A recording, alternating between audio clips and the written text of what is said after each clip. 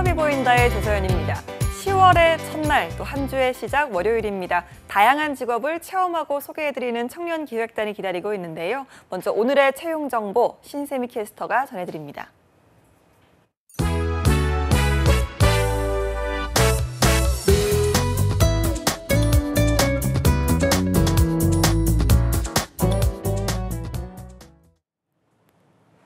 네, 안녕하세요. 취업 정보 알려드림의 신샘입니다. 오늘의 대기업 채용 소식입니다. 에스텍 시스템에서는 호텔 신라 반트 스포츠센터에 프론트 안내 직원을 모집하고 있습니다. 관광학과 경영학을 전공한 분들을 우대하고 있고요. 모집 기간은 10월 31일까지입니다. 현대제철 주식회사에서 당진제철소 부속의원 간호사를 모집하고 있는데요.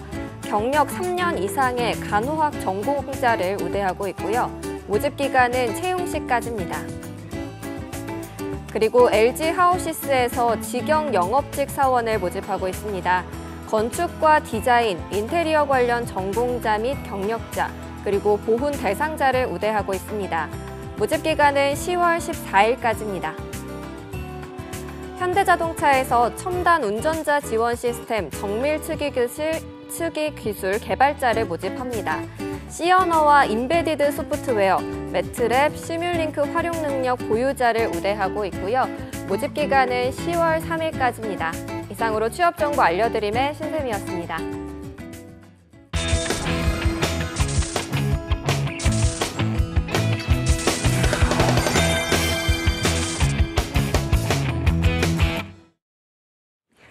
네, 청년의 눈으로 바라본 직업체험 리얼 보고서 청년기획단이 간다 시간입니다. 오늘도 두 분의 청년기획단 여러분 스튜디오에 나와 있습니다. 안녕하세요. 안녕하세요.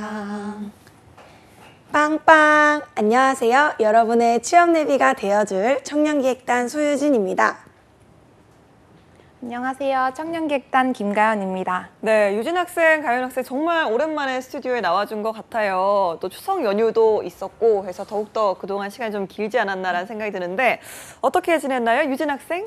네, 전 추석 연휴 기간에 이제 열심히 한 다이어트를 도로 물리는 2kg 정도 살이 쪄가지고 오. 오게 되었습니다. 네. 추석 연휴 때 아무래도 시골에 내려가서 맛있는 음식도 많이 먹고 행복한 시간을 보내고 왔던 것 같습니다. 네, 아니 얼굴이 더 좋아졌어요. 네, 추석 연휴 때 그러면 가장 좀 맛있게 먹은 음식 어떤 게 있었나요? 어, 저는 할머니가 해주시는 그 당근전을 굉장히 좋아하는데요. 당근전? 네, 그 당근이 구우면 굉장히 달짝지근한 게 네. 밀가루 튀김하고 어우러져가지고 당근전을 정말 맛있게 먹고 왔습니다. 그렇군요. 왠지 어울리네요. 당근전. 당근전을 먹고 있는 유진 학생. 네, 가연 학생은 추석 연휴 어떻게 보냈나요? 저도 추석 전까지만 하더라도 열심히 다이어트 중이었는데 음. 추석 명절 음식이 내 눈앞에 있다 보니까 진짜 참을 수가 참을 없더라고요. 수 없어요. 그건. 그래서 그냥 추석 동안은 먹자 하고 신나게 먹부림을 했던 것 같고요. 오, 네. 뭐 오랜만에 뵙는 친척분들 얼굴도 뵙고 또 윷놀이를 하고 오. 놀기도 하면서 개강하느라 학교 다니느라 힘들었는데 제대로 힐링의 시간을 보내고 온 것 같습니다. 다행입니다. 역시 좀 뭐 연휴에는 살이 좀 쪄야 또 맛 아니겠습니까? 네. 자, 이렇게 좀 청년, 어, 청년 기획단 여러분, 이거 또 취업이 보인다 시간이 매번 고민이 좀 된다라고 하더라고요. 직업을 선택하는 데 있어서. 그래서 좀 이번 직업도 상당히 좀 고민을 많이 했다라고 들었는데 오늘 소개해 줄 직업 어떤 걸까요? 먼저 소개해 주시죠. 어, 전 국민 모두가 만나본 직업이라고 소개할 수 있을 텐데요.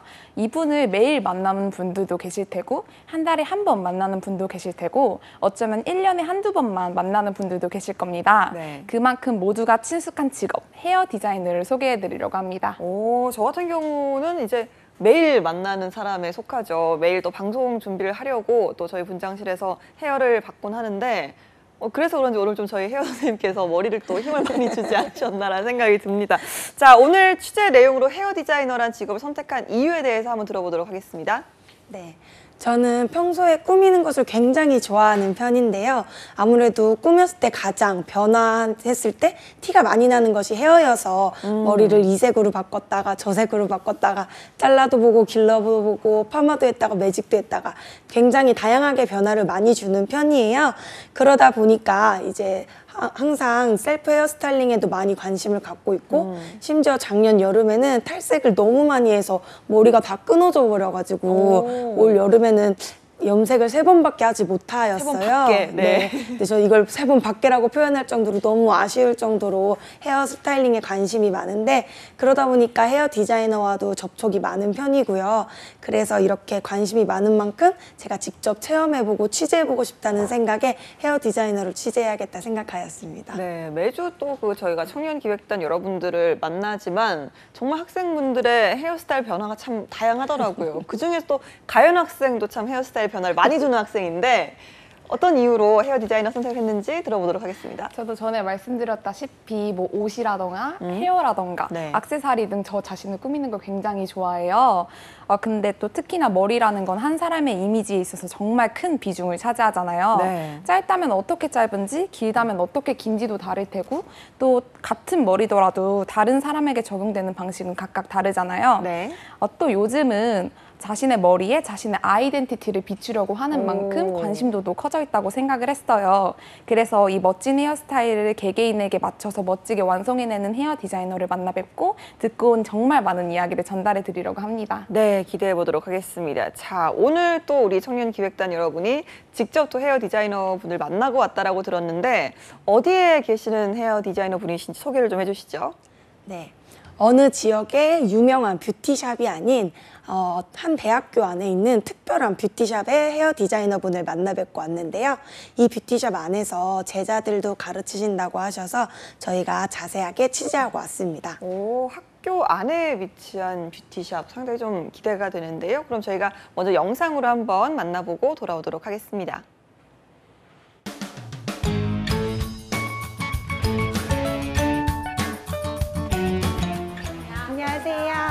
네, 안녕하세요. 안녕하세요. 안녕하세요. 간단한 자기소개 한번 부탁드릴게요. 네. 안녕하세요. 저는 서경대학교 미용예술대학 헤어 메이크업 디자인학과 교수 겸 뷰티샵 블루 원장을 맡고 있는 헤어 디자이너 최철호입니다. 반갑습니다. 네. 이 샵은 교내 안에 있는데 혹시 다른 샵과는 다른 점이 있을까요? 저희가 이제 이게 학교 사업이거든요. 그래서 어, 커리큘럼이 이제 현장이랑 병행이 되게끔 되어 있어요. 그래서 학교 커리큘럼과 연계돼 가지고 이 친구들이 원하면은 3학년 이후에는 뭐 현장 실습이라는 학점 취득으로 나올 수도 있고요. 1학년 때부터는 이제 학과랑 병행이 돼요. 그래서 학교 수업에서 아예 뭐 industry experience, 뭐 살롱 체험이나 이런 걸로도 할 수도 있고요. 그래서 과거에는 조금 일부 수업에서만 진행을 했던 걸 앞으로는 전적으로 수업이 살롱에서 진행이 되게끔 바뀌어 나가고 있는 거죠. 이 안에서 근무하는 직원분들은 다 학생이신 거예요? 그러니까 디자이너들 같은 경우에는요, 뭐 저희 학교 석사, 박사 과정에 있는 친구들도 있고요. 그 다음에 뭐 4학년인 친구들도 있어요. 그리고 인턴들 그런 친구들 같은 경우에는 학교에서 국가근로 장학생이라는 제도를 사용을 하고 있어요. 그래서 이 친구들의 뭐 학업과 병행할 수 있게 스케줄 조정도 가능하고요. 그래서 여러 가지 프로그램으로 학생들이 조금 더 쉽게 다가갈 수 있도록 하고 있는 것 같아요. 지금. 타 학교에도 이런 샵 같은 운영이 진행되고 있나요? 저희 살롱이 지금 오픈된 지 거의 7년이에요. 이제 7년 전에 저희 학교 같은 경우에는 벌써 현장으로 그 수업의 방식이 바뀐 거죠. 그러다 보니까 이제 다른 대학교에서 어, 이 프로그램을 이제 벤치마킹을 해서 많이 지금은 현장에서 실습하는 것을 도입이 되고 있는 것 같아요. 그래서 저희 학교 출신 제 직원이었던 친구들이 타 대학교에 가가지고 이런 살롱들을 또 운영하고 있는 경우도 있어요. 그럼 이렇게 헤어 디자인학과 관련되지 않은 사람들은 어떻게 헤어 디자이너가 될 수 있나요? 관련 학과를 나오지 않고 만약에 자격증만을 취득을 하고 뭐 헤어에 관련된 그런 일을 하게 된다면 어, 가능해요. 가능은 하지만 제 생각에는 전문화된 그런 관련 학과에 입학을 해가지고 조금 더 다양한 경험도 하고요. 뭐 그거에 원론적인 그런 원리 같은 그런 것들도 많이 습득을 하고 그랬을 때 조금 폭넓게 그런 진로 선택에 있어서 유리하지 않을까 생각을 해요. 헤어 디자인 학과를 진학하기 위해서는 어떻게 해야 할까요? 음, 우선 학과의 진학 같은 경우에는 이제 대학에 대한 입시예요. 입시 제도 같은 경우에는 수시랑 이제 정시가 나뉘는데 저희 학교 같은 경우에는 아까도 말씀드렸듯이 실용이라는 이념을 가지고 움직여요. 그래서 작년에 수시 제도에서 이제 실기고사라는 제도를 도입을 했어요. 그래서 실기를 연말을 해가지고 테스트를 고사를 통과를 하게 되면 입학을 할 수 있는 그런 수시 제도도 운영이 되고요. 그 다음에 정시로도 들어올 수 있어요. 그냥 다른 학과들과 비슷하게 수능을 열심히 공부해가지고요. 이제 정시 다군에 지원을 하게 되면 저희 학과에 이제 입학을 할 수 있는 거죠. 미용고 같은 학교들도 있다고 들었는데 혹시 특성하고 다니는 사람들을 위한 전형이 따로 있을까요? 어, 특성화고도 물론 있어요. 특성화고 같은 경우에는 이제 수시에 그것도 해당이 되거든요. 그래서 너무 다양한 전형이 있기 때문에 제가 알고 있는 거는 약 여섯 개 정도의 전형이 있는 걸로 알고 있어요. 수시 같은 경우에는. 네.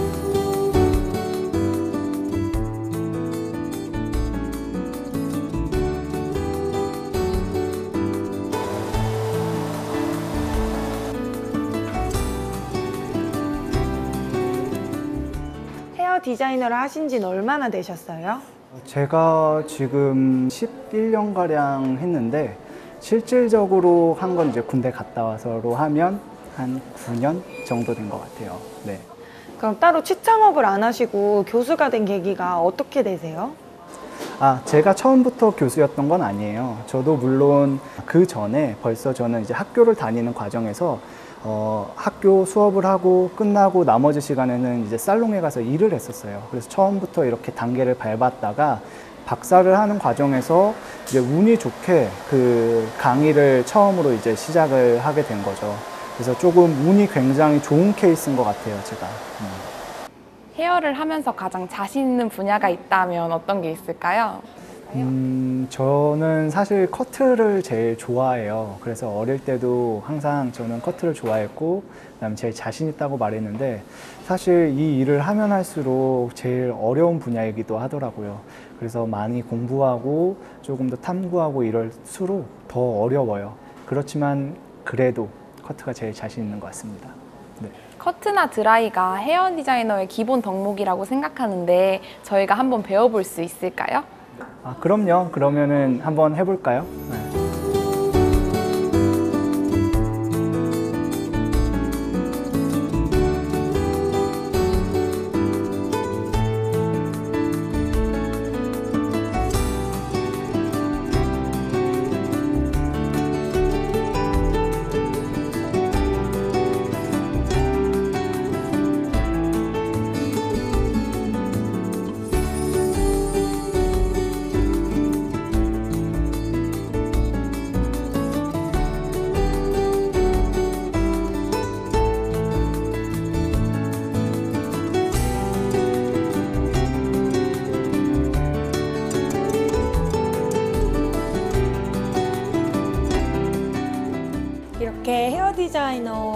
일하시는 곳에 와가지고 직접 헤어 디자이너 분이 하는 일도 체험해 보니까 정말 재밌었고 마치 만들기 하는 것 같은 그런 느낌이 들어서 진짜 재밌고 보람 있었던 것 같아요.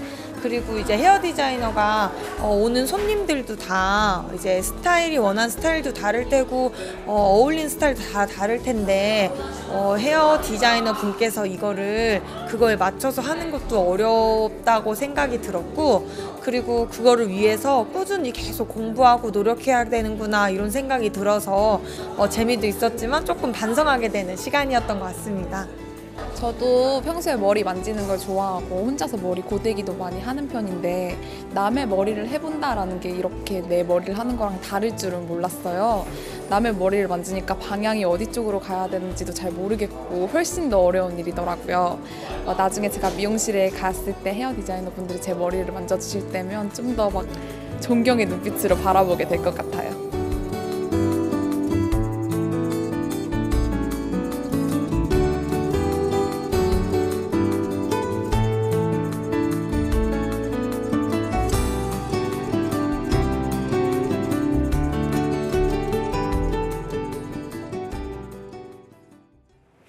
네, 영상을 보니까 이렇게 좀 청년 기획단 여러분이 직접 체험도 하고 커트도 하고 뭐 여러 가지 체험을 좀 해보는 것 같은데 어땠나요? 직접 해보니까 유진 학생? 네, 저는 어, 이런 헤어 스타일링이라는 게 제 머릿속으로 생각한다고 뚝딱 나오는 게 아니구나 이런 생각이 들었습니다. 어, 제가 그 가발을 직접 이렇게 커트를 해보는데 저는 분명히 사선으로 자르는 것 같은데 머리를 떼보면 하 일자로 잘려 있고 막 이렇게 생각한 대로 전혀 되지 않더라고요. 그래서 막 이렇게 엄청난 시행착오를 거쳐서 어떻게 어떻게 머리를 완성해서 뿌듯함을 느끼긴 했지만 실제로 사람의 머리였다면 구멍을 하나 내지 않았을까 하는 생각이 들 정도로 시행착오를 굉장히 많이 겪었어요. 네. 그래서 이렇게 제 머리를 만져주시는 헤어 디자이너님들은 얼마나 많은 연습을 하셨을까 이런 생각이 들어서 앞으로 머리가 조금 마음에 들지 않아도 정말 고생하셨다고 늘 격려의 한마디, 응원 한마디 해드려야겠다 생각하였습니다. 네, 아니 그런데 실제로 또 조금 전에 이야기를 들어보니까 유진 학생 지금 또 앞머리를 본인이 직접 잘랐다고 하더라고요. 솜씨가 대단한 것 같은데요? 아, 제가 앞머리가 옛날에 어, 탈색을 많이 해서 많이 녹았어요. 그래서 그때 계속 앞머리를 자르다 보니까 조금 실력이 기술이. 늘어난 것 오, 같습니다. 그렇군요. 상당히 훌륭한 것 같습니다. 아까 보니까 가연 학생은 그 고데기를 만지는 손길이 프로 같던데 어땠습니까? 저 혼자서 아무래도 셀프 스타일링을 좋아하기도 하고 잘 한다고는 저 혼자는 생각을 했었어요. 오. 어, 머리를 피기도 하고 혼자서 머리를 말기도 하고 앞머리를 혼자 잘라보기도 네. 하고 어쩔 때는 셀프 염색을 해보기도 하는 등 셀프 스타일링을 많이 도전을 해봤었는데요. 그래서 체험하기 전까지는 아 내가 되게 잘하겠지라는 생각을 했던 것 같아요. 근데 막상 체험을 해보니까 내 머리를 하는 것과 남 머리를 해주는 것과는 정말 하늘과 땅 차이더라고요. 오. 어, 제가 서툴어서 고데기가 막 얼, 인형 얼굴에 닿기도 하고 네. 두피에 닿기도 하고 아이고. 이래서 만약 이게 사람이고 고객이었다면 정말 큰일 났겠다 하는 생각도 했고요. 어, 저를 능숙하게 스타일링 해주셨던 디자이너 분들이 떠오르기도 해서 얼마나 많은 연습을 하셨을까 상상도 안 가더라고요. 정말 대단하신 것 같아요. 그렇죠. 이렇게 좀 한 번에 내 머리 내 맘대로 되면 헤어 디자이너 분들이 안 계셨겠죠? 네. 자, 이렇게 또 직접 체험을 해보고 왔기 때문에 더욱더 이 직업에 대한 이해도가 높아지지 않았나라는 생각이 들었는데요. 직접 만난 헤어 디자이너 어떤 직업이었습니까? 네.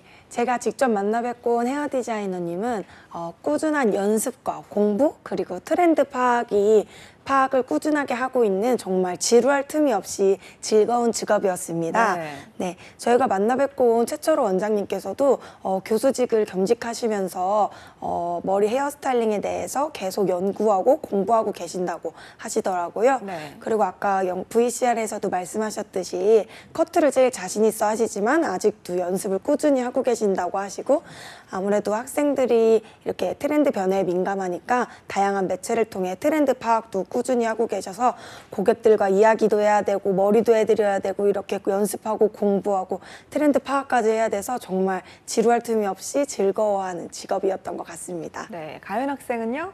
저는 다양한 능력을 갖추고 있는 직업이다라는 생각이 들었어요. 어, 헤어 디자이너니까 머리를 만지는 능력은 당연히 갖추고 있어야 할 테고요. 어, 그 외에도 고객을 직접적으로 응대해야 하는 직업이기 때문에 커뮤니케이션 능력이 굉장히 중요하다는 생각도 들었어요. 네. 또 다른 사람 아, 디자이너다 보니까 다른 사람들보다는 어, 어떤 머리가 어떤 사람에게 어울리는지 또 현재 스타일의 흐름은 어떤지 공부를 하는 것 말고도 기본적으로 갖추고 있는 감각이 있어야 한다는 생각이 들더라고요. 이렇게 다양한 능력을 갖추고 있어야 한다는 게 대단한 직업이다라는 생각도 했어요. 네, 아무래도 좀 이 머리 스타일 같은 경우는 유행이 굉장히 좀 빨리빨리 지나가다 보니까 이런 트렌드에도 상당히 좀 민감해야 하는 직업이 아닌가라는 생각이 들었습니다. 자, 이런 헤어 디자이너가 되기 위해서는 어떤 교육 과정이 필요할까요? 네. 저희 학교에는 헤어 메이크업 디자인학과가 개설되어 있는데요. 이런 헤어 메이크업 디자인학과에 입학하여서 공부를 한 후 이제 그 다른 대형 기업에 대형 헤어 기업에 취직을 하거나 개인 미용실에 취직을 하는 방법이 있습니다. 또 다르게 이제 자격증을 따가지고 다른 기업의 며- 면접을 보아서 취직을 하는 방법도 있고요. 또 다르게 또 이런 주노웨어 같은 대형 기업에서 운영하는 아카데미를 들어가지고 그 기업에 입사하는 방법으로 아주 다양하게 마련되어 있습니다. 네, 또 아까 자격증도 있다고 들었는데요. 이 자격증 준비 어떻게 해야 될까요, 가연 학생? 네, 자격증 준비는 미용, 어, 미용 국가 자격증 시험을 보게 되는데 네. 필기 전형과 실기 전형으로 나뉜다고 해요. 어, 또 일정 같은 경우에는 어, 사이트에 상세하게 모- 모집 상세하게 안내되고 있다고 합니다. 또 자격증 준비를 위해서는 혼자서 독학하는 것도 가능하겠지만 웬만하면 전문적으로 교육을 받을 수 있는 학원을 추천드린다고 하더라고요. 어, 조금 더 수월하게 준비하실 주- 분들은 미용 학원이나 여러 가지 아카데미를 많이 알아보신 후에 일정에 맞춰서 준비하는 걸 추천드리겠습니다. 네, 알겠습니다. 아까 또 가연 학생이 헤어 디자이너 같은 경우는 다양한 능력을 갖춘 직업이다라고 표현을 하기도 했는데, 자 그렇다면 헤어 디자이너라는 직업 과 어울리는 그 적성도 있을 테고요, 능력도 있을 텐데, 자 우리 친구들 생각 어떤지 한번 들어보도록 하겠습니다. 유진 학생? 네, 제가 생각했을 때는 트렌드 파악 능력이나 디자인 능력 이런 것들은 당연히 기본적으로 가 중요한 능력이라고 생각하는데 여기에 플러스 알파로 눈썰미가 있으면 굉장히 좋겠다라는 생각을 하고 있어요. 네. 왜냐하면 고객들이 들어왔을 때 눈썰미가 좋으신 분들은 어, 고객이 어떤 스타일을 하고 계신지 파악해서 어떤 머리 스타일이 어울리겠다라는 생각이 빨리 이렇게 이루어지더라고요. 그리고 이와 더불어서 고객에게 다가가는 데도 도움이 될 수 있다고 생각이 들었어요. 제가 다니는 미용실에도 눈썰미가 굉장히 좋으신 분이 있는데 제가 이전에 어떤 옷을 입고 미용실을 방문했는지도 알, 기억하고 있을 정도로 오. 아주 눈썰미가 좋으셨어요. 그러다 보니까 친해지는데 편했고 그래서 더 머리를 믿고 맡길 수 있게 돼서 눈썰미가 있으면 더욱 좋겠다라는 생각이 들었습니다. 네, 눈썰미 중요하죠. 자 가연 학생은 어떻게 생각하나요? 저는 아까 마- 말씀드렸던 커뮤니케이션 능력이 가장 필요하다고 생각을 했어요. 네. 어, 정말 다양한 성향의 고객들을 만나야 하는 만큼 개개인에게 맞는 소통 방식을 선택해서 다가가야 하잖아요. 제가 미용실을 방문했을 때 저에게 불편함은 점은 없는지 또 지루해하지는 않는지 신경 써주시고 말 걸어주시는 디자이너 분을 보고 정말 많은 생각을 했었거든요. 또 미용실을 선택할 때 예쁜 머리를 해주는 것도 중요하겠지만 이렇게 저를 얼마나 신경 써주시고 디자이너 분이 얼마나 친절하신지가 미용실을 선택하는 기준이 됐던 게 생각이 나더라고요. 어, 단순히 고객 응대뿐만 아니라 고객이 어떤 스타일을 원하는 건지 명확하게 들어줄 수 있는 것도 헤어 디자이너가 커뮤니케이션 능력이 필요한 이유 중 하나가 하나가 아닐까 생각합니다. 네, 정말 좀 여러 가지 능력이 필요한 직업이 아닌가라는 생각이 드는데요. 자, 이렇게 또 체험을 해본 결과 이 헤어 디자이너라는 직업이 분명 장점도 있지만 단점도 있을 거란 말이죠. 어떤 게 있었는지 한번 들어보도록 하겠습니다. 유진 학생. 네, 저는 여러 다양한 고객들의 머리를 어, 수많은 다른 사람들에게 어울리게 해줘야 되는 것이 어려운 점이라고 생각했어요. 왜냐하면 하루에 디자이너 분들이 많게는 뭐 10명도 넘게 고객들의 머리를 해줄 텐데 네. 이런 어, 10명도 넘는 사람들의 머리를 어떻게 해줄지 고민하고 그에 어울리는 거에 또 어, 생각하고 그런 다음에 그거를 자신이 갖고 있는 기술로 실현을 시켜야 된다는 게 정말 어려울 거라고 생각을 하였어요. 물론 이론적으로 뭐 코가 짧은 사람은 단발이 더 어울린다 이렇게 보편적인 형태를 가지고 있을 수는 있지만 이거를 실제로 현장에서는 100% 활용할 수 없으니 그 이거를 이제 어떻게 수많은 사람들한테 적용하는데 어려움이 있겠다 생각을 하였어요. 그렇지만 이런 어려움을 이겨내고 고객에게 어울리는 스타일을 해줘서 고객들이 만족했을 때, 아, 굉장히 보람을 느낄 거라는 생각에 이 또한 장점으로 생각하였습니다. 네, 가연 학생. 저는 너무 제 기준일지도 모르겠지만 다양한 스타일링을 자기가 원하는 대로 할 수 있다는 게 헤어 음. 디자이너의 장점이 아닐까 하는 생각을 했어요. 네. 제가 머리를 받으러 갔을 때 디자이너분에게 머리는 직접 하시는 거냐고 여쭤보니까 셀프로 하시기도 하고 또 자신이 셀프로 하기 힘든 작업들은 서로 디자이너분들끼리 도와주신다고 하시더라고요. 네. 제가 아무래도 머리에 관심이 많다 보니까 하고 싶었던 머리가 많았는데 돈이 모자라서 못했던 경우가 많거든요. 예. 근데 디자이너 분들은 약간만 있으면 모든 스타일링이 가능하니까 이게 장점이라고 생각을 했고요. 또 단점으로는 아무래도 육체적으로 힘든 작업이 많다라는 게 단점이 아닐까 싶어요. 머리를 하는 동안은 몇 시간이고 서 있어야 해서 다리 부종은 물론이고 샴푸나 또 헤어 독한 자- 제품들을 만져야 해서 손에 염증이 생기는 일도 허다하다 하더라고요. 그래서 어 육체만 그렇다고 육체만 힘든 게 아니라 어, 다양한 고객들을 맞이해야 되니까 정신적으로 힘든 경우도 많을 것 같아요. 아무래도 고객들이 항상 친절하지만은 예. 않으니까요. 그렇습니다. 자, 뭐 이야기를 들어보면 오늘 이 두 학생이 역대 가장 좀 적극적으로 이야기를 하지 않나라는 생각이 드는 것 같아요. 그만큼 또 우리 학생들이 참 이 헤어 스타일링에 관심이 참 많지 않나라는 생각이 드는데요. 자, 그렇다면 내가 만약에 헤어 디자이너가 된다면 이런 걸 좀 해보고 싶다라는 생각도 해봤을 것 같습니다. 유진 학생 어떤 걸 해보고 싶나요? 네, 저는 제가 헤어 디자이너가 된다면 오늘의 옷에 어울리는 스타일을 매일매일 바꿔보고 싶다 이런 오. 생각을 했어요. 어, 제가 지금 어, 지식도 없고 기술도 없어서 맨날 머리를 하나로 묶거나 뭐 풀거나 뭐 고데기 안쪽으로 말고 이런 거밖에 못 하는데 이날 옷이 뭐 어떠면은 갑자기 뭐 오늘은 가발도 착용해보고 뭐 앞머리도 없애보고 앞머리도 있다가 뭐 이렇게 옷 스타일에 맞게 매일매일 바꿔보고 싶다 이런 생각을 하였습니다. 네. 자, 지금 혹시 뭐 가장 해보고 싶은 헤어스타일 있나요? 어, 오늘은 날씨가 너무 좋아가지고 어, 약간 나들이 복장으로 입었는데 지금 머리가 짧아서 못하지만 이렇게 긴 웨이브가 찰랑찰랑한 어, 여신머리. 여신머리 한번 해보고 싶습니다. 알겠어. 어울릴 것 같네요. 자, 가연 학생은 좀 어떤 걸 해보고 싶나요? 저는 개개인에게 맞는 스타일을 추천하고 만들어내는 헤어 디자이너가 되고 싶다는 생각을 했어요. 어, 제가 계절을 굉장히 타는 편인데 오. 계절이 바뀌다 보면 그때마다 머리를 바꾸고 싶다는 생각이 가장 크게 들더라고요. 네. 근데 제가 어떤 머리가 어울리는지 또 어떤 머리를 하고 싶은 건지 정말 막막해서 제가 원래 했던 머리에서 크게 벗어나지는 못했던 것 같아요. 그래서 만약 제가 헤어 디자이너가 된다면 어, 이미지나 색지에 대해서 많이 공부를 한 후에 자신이 어떤 머리를 할지 선택 못하는 고객들을 위해서 어, 그분의 피부톤을 고려하고 그분이 원하는 이미지를 고려해서 멋진 헤어스타일을 추천해드리고 싶다라는 생각을 했어요. 네. 어, 가연 학생 계절을 많이 타는군요. 네. 이 계절에 가을에는 좀 어떤 헤어를 하고 싶나요? 지금 어두운 머리가 너무 하고 싶어서 어. 계속 고민 중인데 또 탈색 머리에 검은 머리를 덮어버리면 나중에 탈색을 할 수 없다고 하더라고요. 네. 그래서 아직도 고민 중입니다. 네, 정말 뭐 헤어스타일에서 고민을 많이 하는구나 라는 생각이 듭니다.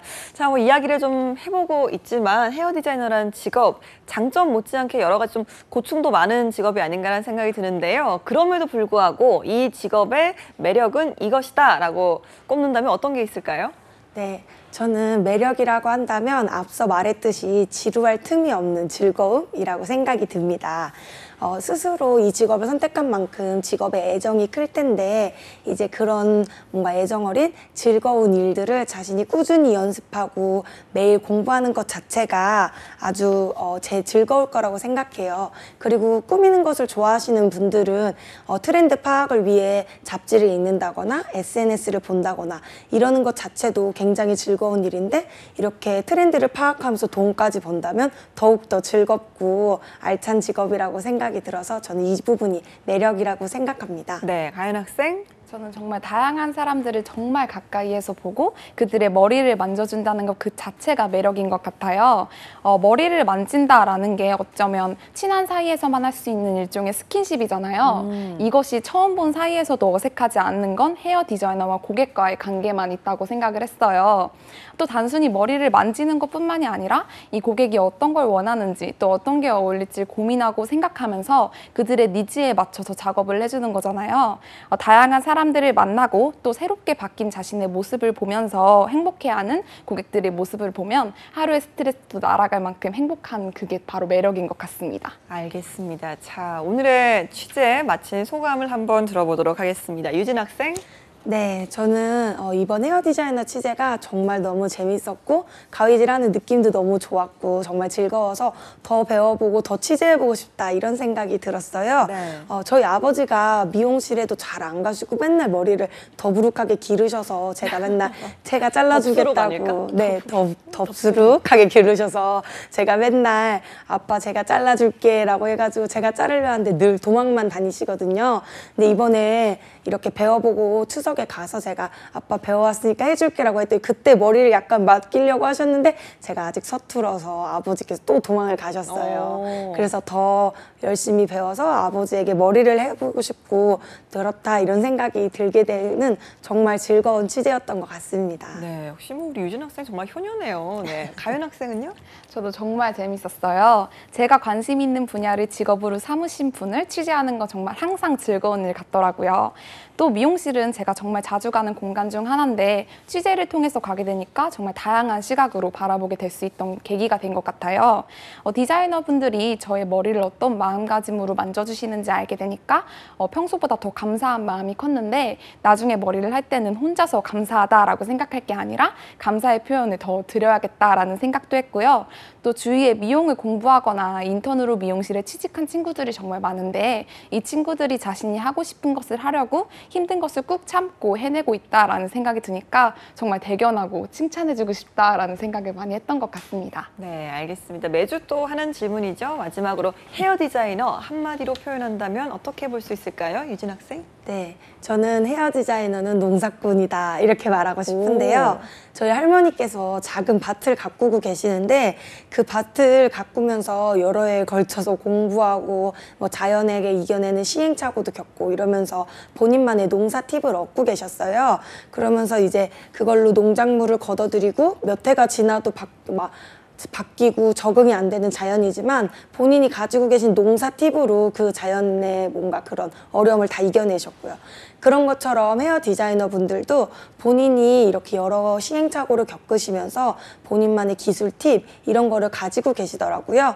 그러니까 헤어 디자이너 분도 이렇게 매일 동부하고 연습하며 시행착오를 겪고 이런 이런 과정을 통해서 어, 고객을 위한 아름다운 머리를 수확한다 이렇게 생각이 들어서 헤어 디자이너는 농사꾼이다라는 생각이 들었습니다. 네, 가연 학생? 저는 종이 접기의 달인이다라고 오. 표현을 하고 싶은데요.